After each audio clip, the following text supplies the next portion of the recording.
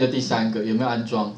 就是 Enjoy SDK 的 Builder Tool，这边有一个 install 有没有？如果你没有装这个的话，哈，我印象中它不会自己帮你产生大 R。如果没有自动帮你产生大 R 的话，那你就后面就是只即便是你在画面上设计好 Widget，Save 它也没有大 R，那你就后面就没办法写好写程式了。所以基本上哦，你这个一定要检查看看有没有，基本上好像都是问题。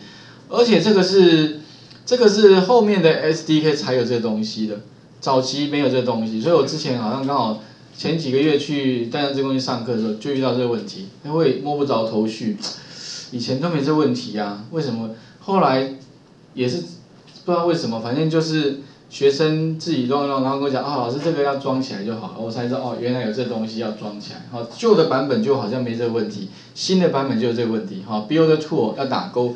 打勾之后呢，那你看看呢？你在画面上再新建看看，然后 save 看看有没有这种产生。重新再做一次。要不然对，再做一次，要不然你可能就要重新 rebuild，重新再新建一个专案了。好，重新再建应该就 OK 了。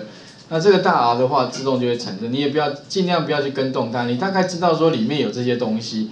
那也就是说，你建立好一个 B 零一，它自动会帮你产生一个对应的一个 ID。那这个 ID 是 unique 的，就是。不会跟别人重复啦，所以他就从这边对照表去找到你的这个画面上的那个原件了哈，那基本上 run